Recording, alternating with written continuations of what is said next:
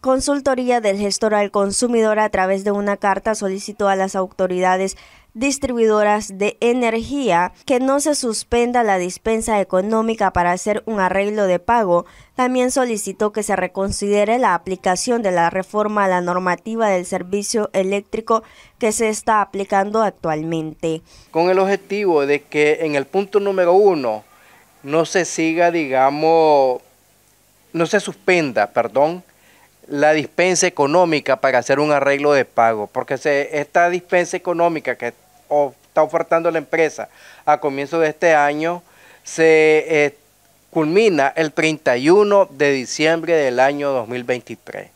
Entonces nosotros, antes que culmine el año y entremos a diciembre, estamos enviando esta carta de solicitud con el primer punto, eh, eh, carta el 28 de noviembre. En el segundo punto, le solicitamos a la empresa distribuidora que reconsidere la aplicación de la reforma a la normativa de servicio eléctrico que se está aplicando actualmente y que, y que comenzó en este año aplicándose en agosto con mayor fuerza.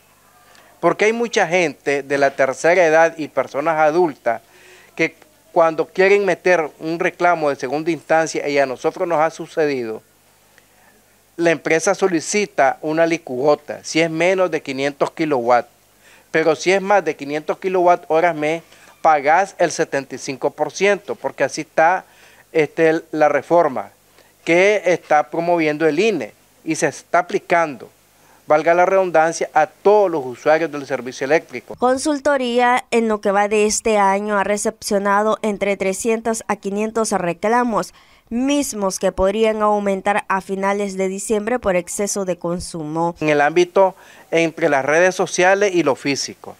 Más o menos creemos de que va a aumentar eh, a finales del mes de diciembre ese ámbito de reclamo. Porque vos sabés que la empresa, aunque vos no pongas, digamos, luminarias de luces, vas, la factura te va a salir alta, pues, por el exceso de consumo. ¿En qué consiste el exceso de consumo? Nos acostamos más noche, el 24 de diciembre nos acostamos ya de madrugada y si es el 31 de igual manera. Y otra manera es que muchos nicaragüenses celebramos la Purísima y ponemos nuestras extensiones con sus respectivos altares. Eso hace que el consumo se dispare considerablemente. Noticias 12, Darlene Telles.